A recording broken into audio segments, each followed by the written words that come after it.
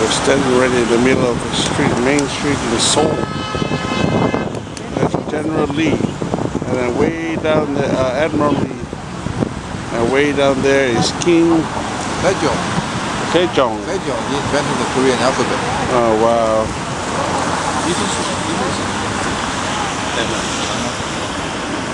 Yeah, amazing. Right in the middle here.